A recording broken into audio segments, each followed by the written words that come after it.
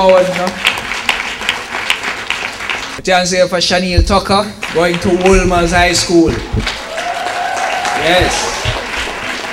Thank you. We also had um, the top performing boy and girl from um, Naggo Head Primary.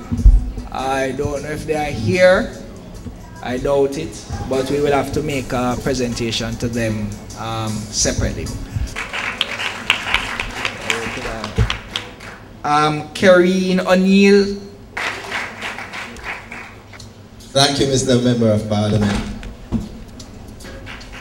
Um, the work is worship the mayor has left. The honorable councillors are still here. I wish to, first of all, give thanks to you, the parents, because you are the ones who have produced these wonderful children, these bright children that has made this occasion possible.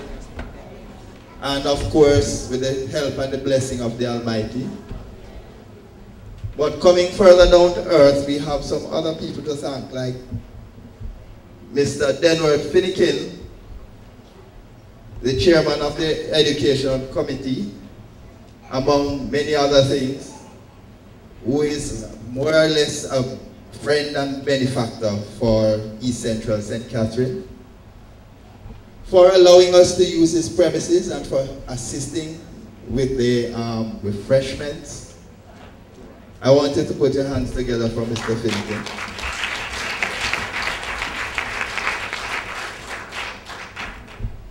I wish to thank also members of the East Central team that are here that have put a lot of work behind the scenes.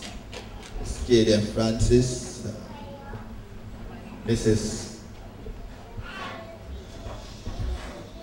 Mrs. Swaby, um, Mrs. Deepak, and all the other members who have put out all this effort to make this possible. Most of all, we have to thank the Member of Parliament for his generosity and his vision.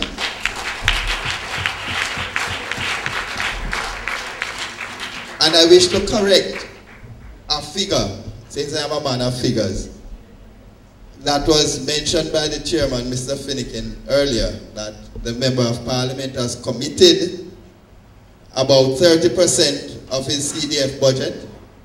I'm pleased to say that when you look at all his projects for education and for training, it is more than 50% of the budget. And that is an investment in the young people of East Central St. Catherine. So I think you need to give him a round of applause for that. This afternoon we had the back to school event in East Central St. Catherine where we presented to the residents support for tuition, support for school books. We made a commitment in the 2011 general elections that we were going to be big on education and this is the first step in that commitment. We are pleased that we have the Cedar Grove High School, which is under construction. Uh, we made a commitment to the Independence City Primary School, the top performing boys and girls, and also Naggo Head Primary School, top performing boys and girls. We're also able to make a contribution to the tertiary students in terms of tuition and book support.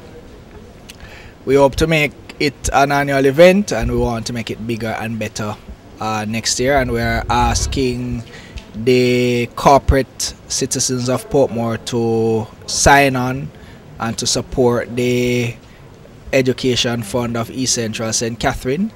We committed $4 million out of the CDF to this process and we were oversubscribed by $2 million. We had over $6 million of requests and therefore we recognize that the CDF might not be sufficient to deal with the demands that are obvious. Therefore, we are seeking the support of Corporate Jamaica, Corporate Portmore to come on board to partner with us to make education accessible and affordable to the students here.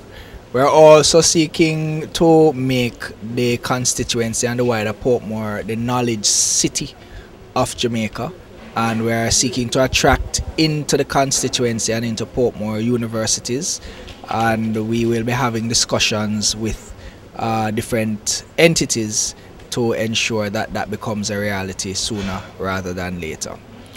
Knowledge, they say, is power, and we want to empower the people through knowledge. Thank you.